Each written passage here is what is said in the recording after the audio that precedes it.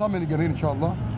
وبقول للموظفين والعمال اللي ما قبضوش لغاية دلوقتي عرفت ان مرتضى منصور كان بيقبضكم قبل آخر يوم في الشهر بيوم عشان كلكم كنتوا غلابة. دلوقتي بيدوروا على الترابيزات. للأسف هناك. ياخدوا الفلوس من الناس. عرفتوا الفوضى والزبالة اللي بقت في النادي؟ عرفتوا البلطجية اللي رجعهم ممدوح عباس بقياده البلطجي؟ الواد اسمه آه، الوا- لا يا باشا التاني ده اسمه إيه؟ آه، اسمه إيه الواد البلطجي ده اللي جايبه؟ عريان. اسمه حاجة. يا عم مش اسمه كده. فين حد من النادي هنا؟ عاطف دعبس خلاص. والبلطجية رجعوا تاني النادي. ودكتور ماجد كيش المحترم بيجمع قواعد توقعات جمعيه عموميه ينضرب هو وأمه جوه النادي. يا جماهير الزمالك الطبيعي قضايا جمعيه عموميه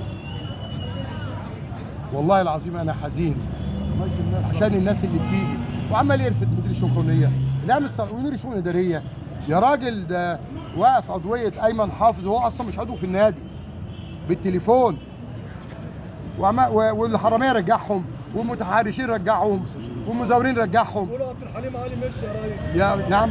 قولوا عبد الحليم علي مشي من كوب مدير الكورة. مشوا عبد الحليم علي مدير كوره يمكن عشان رأس. أيوه مش مشكلة دلوقتي.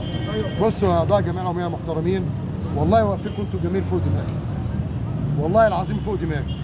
ولو أنا كاتبين كده لو مرتضى منصور دفع مليارات الدنيا عشان يطلع بطل شعبي وياخد المحبة دي كلها ما كانش عمل كده. أنت عملتني بطل شعبي في مصر كلها. وأنا معاك وإحنا وإحنا معاك يا المهم إن شاء الله إحنا بنثق في القضاء والجلسه 3 واحد عشان أنا مقدم مقدم حوالي 72 حافظه مستندات وبراحتهم.